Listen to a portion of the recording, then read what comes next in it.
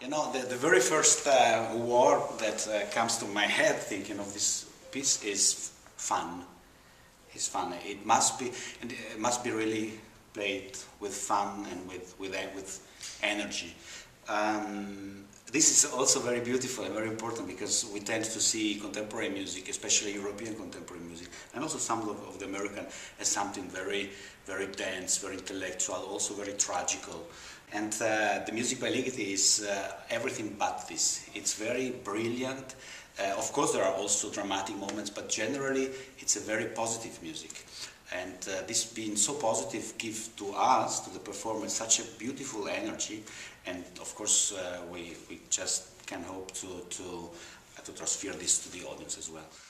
Let me say one thing more about the piano. In, uh, what is so beautiful in this piece is that as much as also in the orchestra and in the orchestration and in the score, the piano uh, becomes all the pianos of the piano history.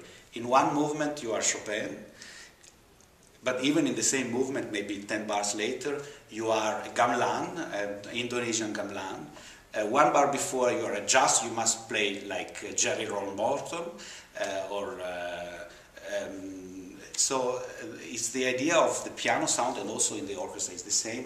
Uh, so many memories and also so many homage. Sometimes it's really a little bit tongue-in-cheek, of course, but in such a clever way that uh, it makes you laugh and it, it, it catches your, uh, your, it grips you. Uh, I think it's really, I mean, it was, it was definite as maybe uh, one of the very tops or highlights of his career and it's one of the last pieces he wrote.